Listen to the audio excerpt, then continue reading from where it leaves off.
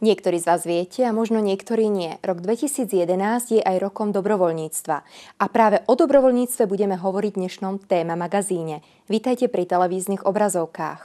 Ja v štúdiu vítam môjho dnešného hostia Mariana Kasana, koordinátora VOCM. Vítaj. Ahojte. Vy ste pripravili projekt Domáca dobrovoľnícka služba. O čo tu ide? Domáca dobrovoľnícka služba je pilotný projekt v rámci celého Slovenska Vznikol v spolupráci Oravského centra mládeže s Komisiou pre mládež Spiskej diecezy. Princípom toho projektu je, je snaha uviesť e, nezamestnaných a dať im príležitosť e, pripraviť ich pri hľadaní si ďalšieho zamestnania.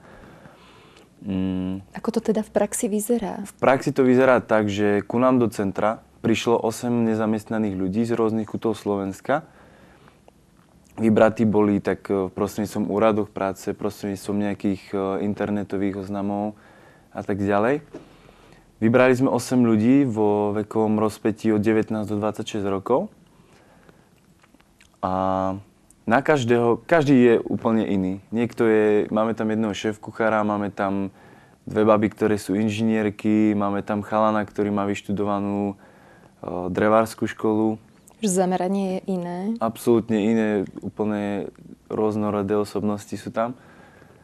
A v rámci toho sme každému jednému z nich e, našili taký mikroprojekt. Cieľom všetkých tých mikroprojektov je e, rozvoj mládeže a rozvoj cool klubu, ktorý prevádzkujeme v Trstenej. A teda každý má do toho priniesť to svoje. E, napríklad je tam dievča Martina, ktorá má na starosti projektové manažovanie. Teda má za úlohu napísať nejaký projekt, cez ktorý môže získať nejaké financie a vďaka tomu pozdvihne Cool Club. Mm. Takže tam je ten cieľ rozvíjať Cool Club nejakou tou činnosťou. Áno. Pretože my do Cool Clubu sústredujeme všetky naše aktivity a práve tam chceme vytvoriť takéto centrum tých mladých. A, a čo to prináša tým dobrovoľníkom? Rozvíjajú sa v rámci týchto aktivít svoje skúsenosti, svoje poznanie, svoje zručnosti. Pomáha im to aj v tej ceste nájdenia si práce? Myslím si, že určite, pretože každý z tých dobrovoľníkov, uh, oni tam strávia 3 mesiace, uh, kde my im pokrieme ubytovanie, stravu a oni vlastne tam strávia 24 hodín denne v kuse tie 3 mesiace. A ide o to, že keď je človek doma, jednoducho nemá šancu tvoriť, nemá, nemá možnosť realizovať sa, nemá možnosť nič, nič robiť, proste nič, po čom túži. A my sme tam na to, aby sme im dali priestor, aby sme im dali šancu realizovať sa vo svojich nápadoch. Preto vznikli tie mikroprojekty, ktoré sme im dali. Ale na druhej strane chceme ich e, naučiť a pripraviť. Chceme, aby ľudia, ktorí vedia robiť s drevom, keď od nás budú odchádzať, nevedeli robiť len s drevom, ale aby mali aj prehľad o počítačových zručnostiach a o podobných veciach. Aby tak rozširoval každý z nich svoje obzory. My tu hovoríme aj o dobrovoľníctve. Ako ty vnímaš dobrovoľníctvo na Orave? Ja som sa dobrovoľníctvo z mojej osobnej stránky naučil vnímať úplne od, od nova. Ja som si takisto kedysi myslel, a myslím si, že si to myslia všeobecne ľudia vôbec, že dobrovoľníctvo je niečo, niečo, niečo o ničom, nejaká pomoc nejakým starým babičkám, ktoré nevládzu odniesť nákup z obchodu. Niečo, z čoho úplne nič nemám a niečo, za čo nikdy nič nedostanem. Že také využívanie, áno, Jednoducho využívanie. Myslím, človek, ktorý sa dá využiť. Áno, ja som to trošku tak expresívne teraz povedal, ale Máš možnosť to vidieť možno z tej druhej strany? Áno. Uh, ja som sám prišiel do tohto centra, bol som oslovený teda, lebo aj predtým som sa snažil robiť nejaké také aktivity. A teraz vidím, že dobrovoľníctvo je neskutočná možnosť zrealizovať svoje sny. Ak je človek mladý zamestnaný a sedí doma a stačí mu to, že ráno napíše 10 životopisov, pošle ich na rôzne personálne agentúry a teraz budem ďalší mesiac takto sedieť a čakať, či sa mi niekto ozve, tak si myslím, že mi to nedá absolútne nič. A navyše každá, každá firma, každý zamestnávateľ má takú kopu životopisov a jediné, čo s mojím urobí, je, že si ho zasunie medzi ostatné. A dobrovoľníctvo je šanca pre všetkých. my si vážime každého, kto príde a chce priniesť niečo svoje. Chce prísť vlastnou vervou a povedajte mi šancu a urobím pre vás toto, toto, toto a nič od nás nechce. A my vo vlastnom záujme sme, sme šťastní, že tam tých ľudí máme a my im chceme dať priestor a chceme, aby sa každý mohol realizovať. Že vytvárate a... takú podporu tej realizácii. Áno. A práve preto podľa mňa vďaka tomuto môže každý nájsť také svoje šťastie keď už za to nemám peniaze, tak uh, za to mám dobrý pocit, ale zároveň mám za to uh, najdôležitejšiu vec, ktorá je podľa mňa kľúčová pri hľadaní si zamestnania a to sú referencie a prax. Ja, ak skončím... takýmto spôsobom to nadobudnete? Áno. Ja ak skončím strednú školu, tak prídem ku zamestnávateľovi a čo mu poviem? Neviem nič robiť, nikde som nebol, všade posielam životopisy ale nikde mi neodpovedajú, nič nerobím, lebo nikde ma nechcú a čo teraz? Ako to nadobudnem? Práve preto si myslím, že toto dobrovoľníctvo je veľmi dôležitá cesta a je vlastne taká v podstate aj najjednoduchšia. Že vás veľmi radi prídu, dajú vám šancu a my budeme šťastní, keď vám tie referencie dáme, pretože my ich môžeme dať. Dobrovoľník sa tým pádom môže sám realizovať, Áno. získavať nové skúsenosti. Čo plánujete v najbližšej dobe?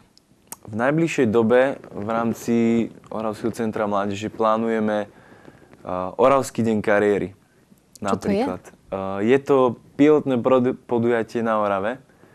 V, na Slovensku bežia podobné veci, možno známejšie, ktoré poznáte. To sú napríklad Národné dni kariéry, alebo Dni príležitosti, alebo Job Forum. My v Trstenej 7. decembra združíme rôzne firmy, ktoré budú sa prezentovať a ponúkavať zamestnávateľom možné aj pracovné miesta. Prídu personálne agentúry, prídu mimovládne organizácie, prídu určite aj zastupcovia nejakých vysokých škôl, prídu mm, organizácie, ktoré robia preskúšavanie, ktoré preverujú naše počítačové znalosti, jazykové, e, rôzne vedomostné. Ktoré fungujú doslova na tom pracovnom trhu? Áno. Jednoducho chceme začať mladých pripravovať takto každoročne, aby vedeli, aké nároky majú zamestnávateľia na svojich zamestnancov. Aby zistili, ako na tom vôbec sú, či vedia ovládať počítač, či vedia robiť s internetom, či aké sú stupni jazykovo na tom a podobné veci. Ehm, vo, teda vo svete. Na Slovensku to má veľký úspech. Sam som bol minulý týždeň na Jobfore v Trenčine Nikdy predtým som podobnú akciu nevidel, aj keď mi tu v centre o tom hovorili, že poďme to urobiť, tak som v tom nevidel význam, ale myslím si, že je to veľmi užitočná vec a my sa zameriavame hlavne na absolventom stredných, vysokých škôl a takých tých mladších nezamestnaných a myslím si, že ak tam prídu, tak to neoľutujú a veľa sa tam naučia. Ty si sa zapojil aj do programu Komprax, ktorý je tiež založený na báze dobrovoľníctva. Vedel by si nám bližšie povedať, o čo ide? Komprak je z ďalšia, teda ďalšia z množstva príležitostí, ktoré mladí ľudia majú. Je to národný vzdelávací program, ktorý vyhlásila Juventa s ministerstvom školstva.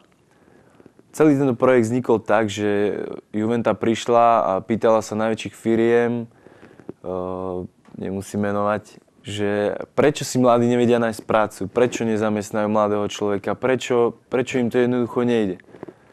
Oni odpovedali, že sa mladí ľudia nevedia predať. Nevedia povedať to, čo chcú, nevedia na papier napísať svoju myšlienku, nevedia sa ohodnotiť, nevedia, nevedia, ako majú vôbec postupovať. Niekto napíše životopis so štyrma vetami a myslí si, že na základe toho bude zaujímavý.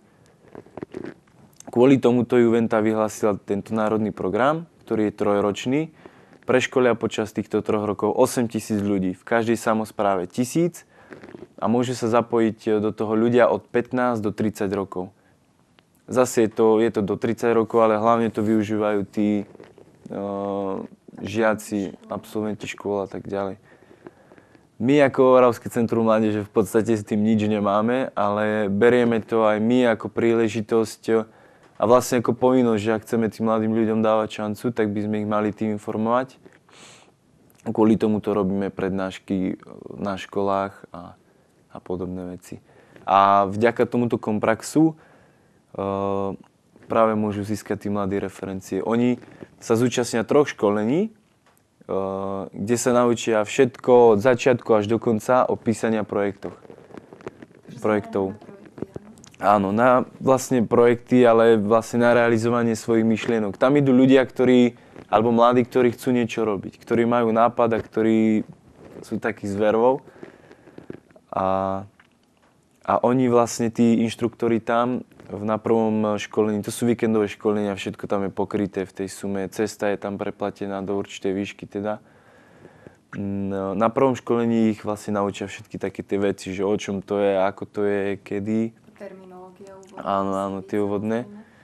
Medzi prvým a druhým školením, neviem presne, aký tam je časové obdobie, myslím, že nejaký mesiac až dva, majú vlastne navrhnúť ten svoj projekt, alebo niečo proste v hlave si dať dokopy, že ako by to mohlo prebiehať. Áno. A na tom druhom školení to dávajú na papier. Každý s tým svojim inštruktorom alebo školiteľom napíšu na papier tú svoju myšlienku, všetko to dajú do takej formy, ako má byť a oni to vyhodnotia a dostanú dotácie do výšky 200 eur na ten svoj projekt.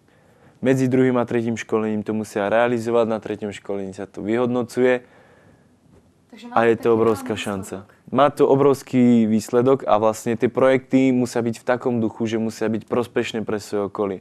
Dúfam, že sme vás aj dnes niečím inšpirovali. Ako vidíte, možnosti tu naozaj sú. Ja vám ďakujem za vašu pozornosť a prajem ešte príjemný zvyšok dňa. Dovidenia.